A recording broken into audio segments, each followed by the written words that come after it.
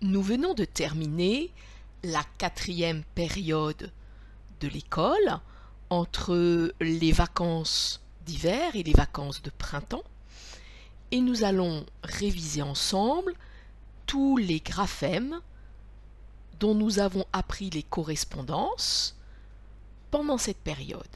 Nous commencerons par les mariages.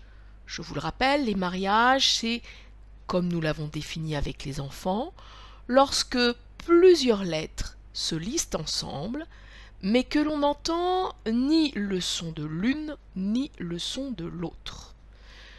Nous commençons par les mariages vocaliques, ceux qui font des sons voyelles. un,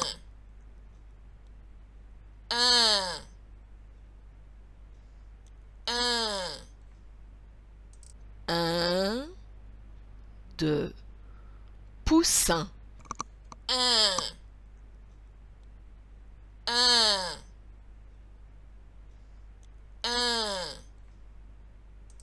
un, timbre.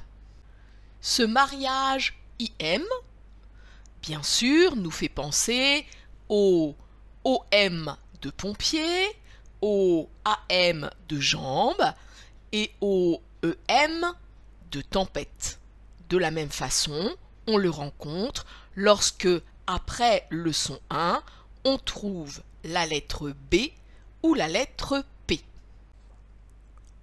O. O. O. O de chapeau. Ce O écrit E-A-U celui que l'on trouve le plus souvent en français à la fin des mots, ce qui se termine par le son O. O. O. O. O de jaune. Nous allons maintenant aborder une série de mariages qui peut paraître un petit peu compliqué à lire. Il s'agit de tout ce qui permet d'écrire le son E ou le son U.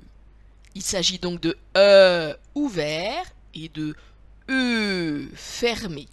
Ça peut être un petit peu difficile de se demander si cette fois-ci cela va faire E ou E.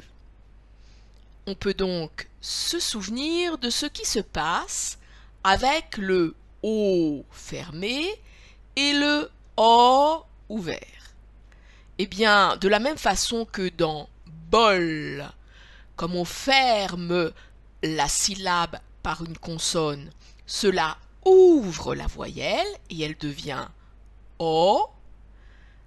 On va faire de même pour le E ou le E, c'est-à-dire que lorsque la syllabe est fermée par une consonne, ça va ouvrir le E, et lorsque la syllabe finit ouverte, alors le U va se refermer.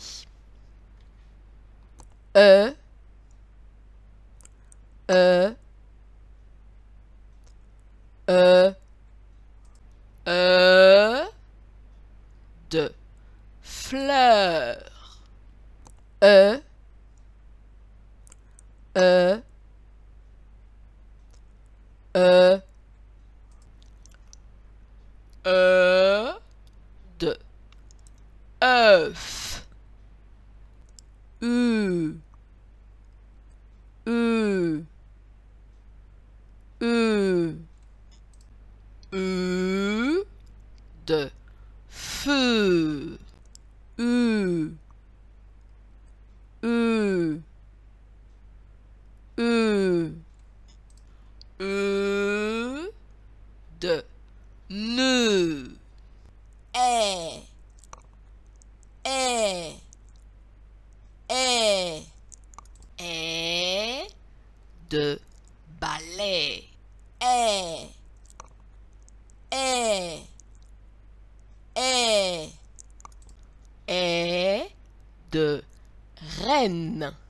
Nous avons aussi étudié des mariages consonantiques qui font des sons consonnes.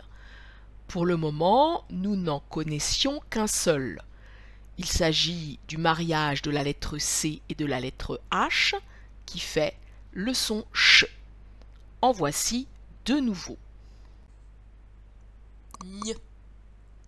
Gne. Gne de montagne.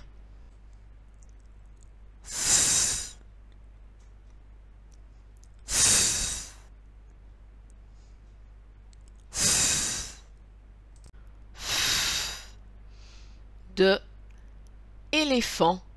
Comme dans chacune des vidéos, je vous rappelle que vous trouvez dans le classeur de la maison des enfants une planche bleue qui permet de résumer tous les graphèmes que nous avons étudiés cette période avec les mots référents, comme nous venons de les voir dans la vidéo, mais aussi d'autres mots qu'ils peuvent lire car ils en connaissent tous les sons maintenant.